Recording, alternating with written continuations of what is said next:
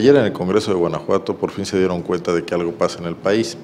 La desaparición de los 43 normalistas de Ayotzinapa en Guerrero llegó al debate de los diputados de Guanajuato y generó sobre todo una, una, confrontación entre el PRI y el PAN.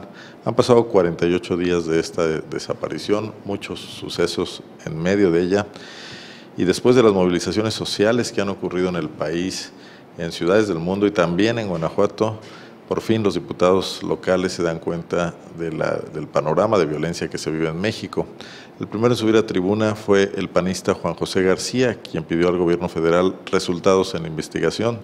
Señaló que la famosa frase, ya famosa a estas alturas, del Procurador de Justicia Jesús Murillo Caram, de ya me cansé, fue adoptada por la sociedad mexicana para externar el hartazgo en el sistema de justicia del país. Son las palabras en la tribuna del Congreso del diputado Juan José García. Enrique Peña Nieto logró materializar su lema de gobierno, mover a México. Y efectivamente, México y los mexicanos se movilizaron como nunca antes en todo el territorio nacional. Salieron a las calles manifestando su hartazgo frente a la, a la violencia y a la corrupción y a la impunidad. La desaparición de los 43 normalistas de Ayotzinapan es apenas la punta del iceberg que revela la comparsa y la tolerancia con que autoridades de los tres órdenes de gobierno se relacionan con el crimen organizado. Para muestra, un botón. Guerrero está sumido en el caos y la vergüenza nacional.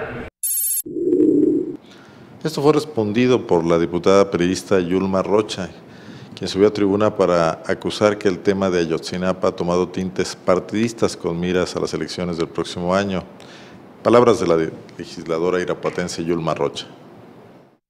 Por mero instinto a seguir un juego perverso genere y busque o busque la generación del caos, tratando de generar eh, de carácter partidista a un hecho diputado que efectivamente nos duele a toda la nación. No se le ha olvidado al presidente de la República y por eso la exigencia de justicia propia y expedita se ha hecho presente en el caso de los 43 formalistas.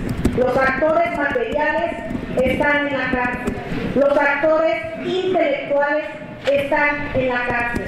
No se nos olvida y no se le va a olvidar a la nación, diputado.